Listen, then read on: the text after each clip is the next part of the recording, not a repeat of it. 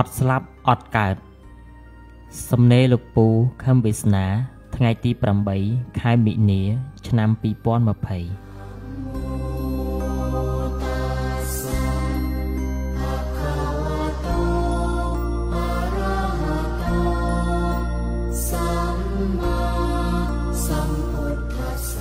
្រះពុទ្ធសម្ដែងថាសត្វស្លាប់ហើយកើតមកវិញក៏ខុសសត្វស្លាប់ហើយសូន្យក៏ខុស តើក្មួយក្មួយយល់ពាក្យដែលព្រះពុទ្ធចង់ប្រាប់យើងពីការត្រាស់ដឹងរបស់ព្រះអង្គត្រង់ចំណុចនេះឃើញដែរឬទេកាលពីពេលមុនពូបានដឹងថាពិភពលោកនេះកើតមកពីធាតុគឺធាតុដីធាតុទឹកធាតុភ្លើងធាតុខ្យល់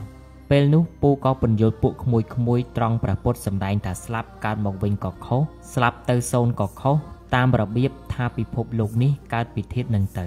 ទេឥឡូវនេះពូបានដឹងហើយថា ពិភពលោកនេះមិនមែនកើតឡើងពីធាតុដី ទឹកភ្លើងខ្យល់ទេ គឺកើតពីកម្លាំងនៃធាតុដី ទឹកភ្លើងខ្យល់នៃកលាបៈដែលកំពុងតែវិលជាប់មិនដាច់សោះឡើយដូច្នេះពាក្យដែលព្រះពុទ្ធសម្ដែងថា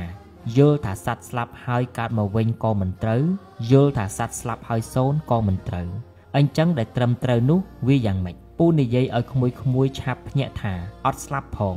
សត្វអត់ស្លាប់ផងសត្វច្រឡំថាខ្លួនឯងស្លាប់តាមពិតមានស្លាប់ឯណា គឺបដូរពីអត្តភាពដឹងបែបមនុស្សទៅអត្តភាពដឹងបែបសត្វក្នុងថ្នាក់ណាមួយតែប៉ុណ្ណោះគឺអត់ស្លាប់ទេ គឺអត់មានស្លាប់អ្វីទេ មនុស្សយល់ច្រឡំថាខ្លួនស្លាប់ទេតើតាមពិតសត្វមានស្លាប់ឯណាមិនទៅជាកើតវិញបើអត់ស្លាប់ផងបានអីកើតហើយស្លាប់ទៅសូន្យយ៉ាងម៉េចបើមិនស្លាប់ផងយើងគឺចិត្តពូនិយាយច្រើនដងហើយថាយើងគឺចិត្តមើលមនុស្សគឺមើលចិត្តសូមឲ្យមើលចិត្តមនុស្ស សញ្ញាតាមទ្វាមโนគឺទុកសម្គាល់ចិត្តមនុស្សនេះហើយតើក្មួយវៀងវៃក្នុងការមើលសញ្ញាចិត្តរបស់មនុស្សដែរឬទេបើក្មួយពូកែមើលសញ្ញារបស់ចិត្តមនុស្សក្មួយនឹងដឹងថាចិត្តដែលសំងំនៅក្នុងរូបកាយជាមនុស្សនោះជាចិត្តសត្វដេរឆាន ជាចិត្តសត្វប្រែត ជាចិត្តសត្វនរកជាចិត្តទេវតាឬជាចិត្តព្រះព្រំហើយនៅពេលបែកកាយរំលែកខណ្ឌជាមនុស្សចិត្តនោះទៅទាំងមូលតែម្ដងគ្មានប្រែប្រួលបន្តិចសោះឡើយ ពូនិយាយឲ្យស្រួលស្ដាប់ថាទៅទាំងយើងតែម្ដងអត់មានស្លាប់អត់មានកើតអ្វីទេ គឺហោះទៅតែម្ដងតើក្មួយយល់ទេ ពេលពូដឹងធម្មជាតិគឺបែបហ្នឹងពូសប្បាយចិត្តណាស់ពូស្រែកក្នុងចិត្តពូថាអាយយធម្មជាតិនេះយុត្តិធម៌ណាស់ពាក្យយុត្តិធម៌គឺជាពាក្យប្រពុតហើយព្រោះមានពាក្យថាធម៌នៅក្នុងពាក្យយុត្តិធម៌នេះហើយធម្មជាតិនេះគឺវាសុក្រិត100%ឥតលំអៀងឥតស៊ីសំណុកសុកប៉ាន់អ្នកណាសោះឡើយ វាធ្វើអញ្ចឹង វាត្រូវតែចេញផលមកអញ្ចឹងគ្មានផលណាដែលកើតប្រសិជ្ជៈហេតុនោះទេអ្នកបានយល់ពីធម៌ទើបយល់ច្បាស់ពីផលដែលកើតពីហេតុវាមានសភាពសុក្រិតឥតខ្ចោះយ៉ាងម៉េចពូសូមរំលឹកក្មួយថា នៅក្នុងលោកយើងនេះអ្វីអ្វីកើតមកតែពីកម្លាំងសុទ្ធនិងកម្លាំងនៃធាតុដី ទឹកភ្លើងខ្យល់តែប៉ុណ្ណោះអស់ត្រឹមប៉ុណ្ណឹងប៉ុន្តែកម្លាំងនិងកម្លាំងធាតុវាបង្កើតបានជាមនុស្សនិងសពសត្វដទៃទៀតយ៉ាងរៀបរយឥតខ្ចោះ តាមសភាពកម្លាំងនិងកម្លាំងធាតុដីទឹកភ្លើងខ្យល់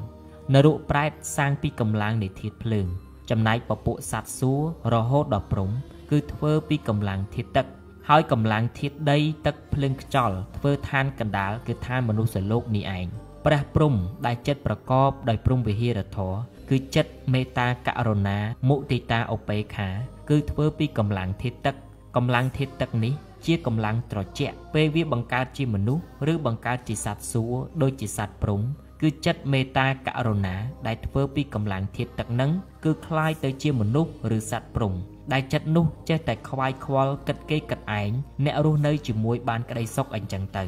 ចំណែកកម្លាំងធាតុភ្លើងធ្វើចិត្តសត្វនរកទោះជាមនុស្សដែលមានចិត្តនរកឬសត្វនរកកម្លាំងធាតុភ្លើងបានធ្វើចិត្តពួកគេឲ្យរមិលគុណ ឲ្យសាហាវជាដើមអញ្ចឹងទៅ តាមពិតនោះគឺកម្លាំងនៃធាតុភ្លើងទេ ធម្មជាតិមិនទាំងដឹងថាមានសត្វផង ហើយកម្លាំងធាតុភ្លើងខ្លួនវាក៏មិនបានដឹងកម្លាំងធាតុភ្លើងរបស់វានេះធ្វើឲ្យកើតចិត្តដែលសាហាវដែលរមិលគុណអញ្ចឹងដែរគួរឲ្យអស់សំណើចធម្មជាតិនេះណាស់គឺវាអញ្ចឹងទេឬកម្លាំងធាតុទឹកវាត្រជាក់ធ្វើឲ្យកើតសត្វល្អចិត្តត្រជាក់ល្អកម្លាំងធាតុភ្លើងធ្វើឲ្យកើតជាមនុស្សមានចិត្តអាក្រក់ឬចិត្តសត្វនរកប្រែត ក្រៅពីមនុស្សកំណត់សត្វទាំងអស់ជាសត្វសោយ គឺសោយសុខក្នុងសុគតិភព ឬសោយទុក្ខក្នុងទុក្ខតិភព ហើយការសោយនេះដោយសារសង្ខារការនៅជាសត្វសាងសត្វបានសាងរបៀបម៉េចពេលសោយនោះគឺអត់មានខ្វះអត់មានរំលងអត់មានបន្ថែម គឺត្រឹមត្រូវយុត្តិធម៌ល្អណាស់អត់មានអ្នកណាស៊ីសំណោកសោកប៉ាន់អ្វីទេ ត្រង់ចំណុចនេះ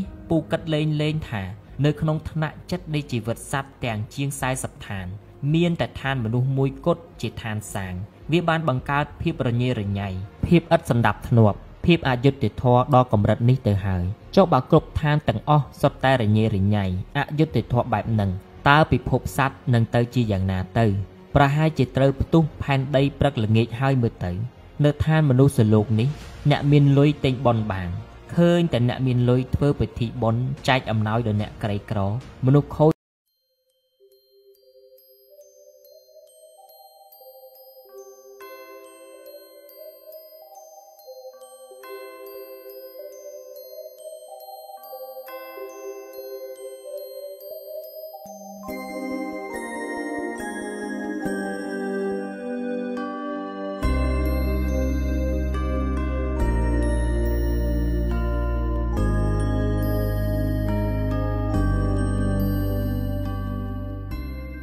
អត់ស្លាប់អត់កើត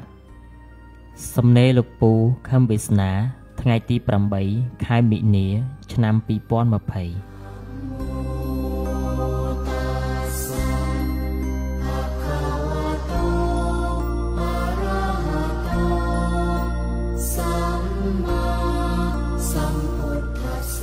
្រះពុទ្ធសម្ដែងថាសត្វស្លាប់ហើយកើតមកវិញក៏ខុសសត្វស្លាប់ហើយសូន្យក៏ខុស តើក្មួយក្មួយយល់ពាក្យដែលព្រះពុទ្ធចង់ប្រាប់យើងពីការត្រាស់ដឹងរបស់ព្រះអង្គត្រង់ចំណុចនេះឃើញដែរឬទេ កាលពីពេលមុនពូបានដឹងថាពិភពលោកនេះកើតមកពីធាតុគឺធាតុដីធាតុទឹកធាតុភ្លើងធាតុខ្យល់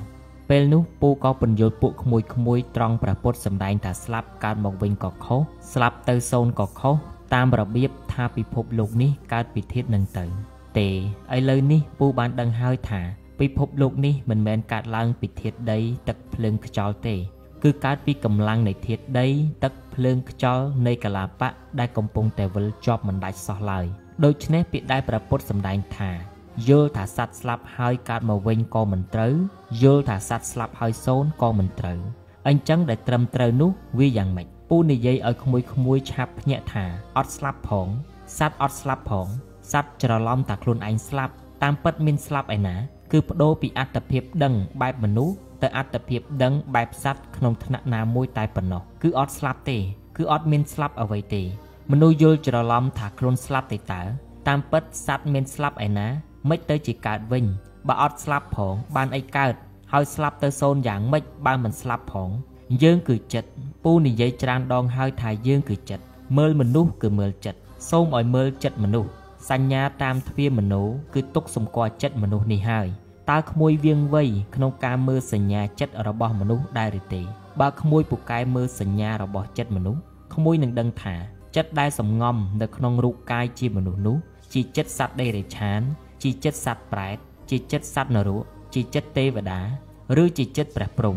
ហើយនៅពេលបែកកាយរំលែកខណ្ឌជាមនុស្សចិត្តនោះទៅទាំងមូលតែម្ដងគ្មានប្រែប្រួលបន្តិចសោះឡើយពូនិយាយឲ្យស្រួលស្ដាប់ថាទៅទាំងយើងតែម្ដងអត់មានស្លាប់ អត់មានកើតអ្វីទេ គឺហោះទៅតែម្ដងតើក្មួយយល់ទេ ពេលពូដឹងធម្មជាតិគឺបែបហ្នឹងពូសប្បាយចិត្តណាស់ពូស្រែកក្នុងចិត្តពូថាអាយយធម្មជាតិនេះយុត្តិធម៌ណាស់ពាក្យយុត្តិធម៌គឺជាពាក្យប្រពុតហើយព្រោះមានពាក្យថាធម៌នៅក្នុងពាក្យយុត្តិធម៌នេះហើយធម្មជាតិនេះគឺវាសុក្រិត100%ឥតលំអៀងឥតស៊ីសំណោកសុកប៉ាន់អ្នកណាសោះឡើយវាធ្វើអញ្ចឹងវាត្រូវតែចេញផលមកអញ្ចឹង គ្មានផលណាដែលកើតប្រសិជ្ជៈហេតុនោះទេ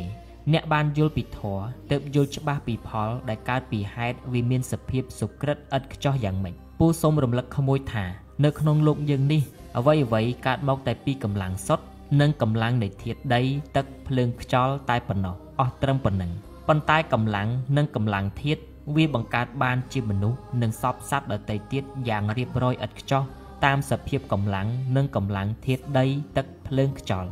នរុប្រែតសាងពីកម្លាំងនៃធាតុភ្លើង ចំណែកពពួកសត្វសួររហូតដល់ព្រំ គឺធ្វើពីកម្លាំងធាតុទឹក ហើយកម្លាំងធាតុដីទឹកភ្លើងខ្យល់ធ្វើឋានកណ្ដាលគឺឋានមនុស្សលោកនេះឯងព្រះព្រំដែលចិត្តប្រកបដោយព្រំវិហារធរគឺចិត្តមេត្តាករុណាមុទិតាឧបេខាគគឺធ្វើពីកម្លាំងធាតុទឹក កម្លាំងធាតុទឹកនេះជាកម្លាំងត្រជាក់ពេលវាបង្កើតជាមនុស្សឬបង្កើតជាសត្វសួរដូចជាសត្វព្រំគឺចិត្តមេត្តាករុណាដែលធ្វើពីកម្លាំងធាតុទឹកនឹងគឺคล้ายទៅជាមនុស្សឬសត្វព្រំដែលចិត្តនោះចេះតែខ្វាយខ្វល់គិតគេគិតឯងអ្នករស់នៅជាមួយបានក្តីសុខអញ្ចឹងទៅ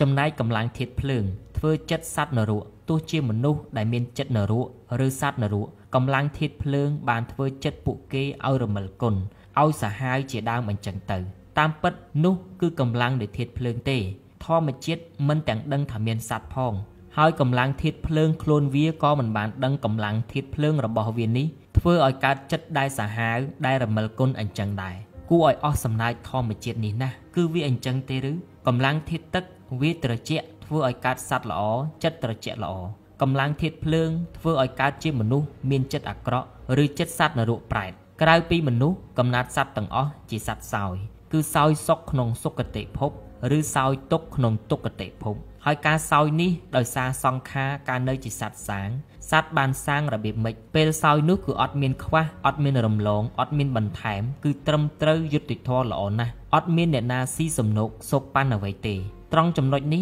ពូគិតលេងលេងថា នៅក្នុងថ្នាក់ចិត្តនៃជីវិតសត្វទាំងជាង40ឋាន មានតែឋានមនុស្សមួយគត់ជាឋានសាង វាបានបង្កើតភាពរញ៉េរញ៉ៃភាពឥតសណ្ដាប់ធ្នាប់ភាពអយុត្តិធម៌ដល់កម្រិតនេះទៅហើយចុះបើគ្រប់ឋានទាំងអស់សុទ្ធតែរញ៉េរញ៉ៃអយុត្តិធម៌បែបហ្នឹងតើពិភពសត្វនឹងទៅជាយ៉ាងណាទៅ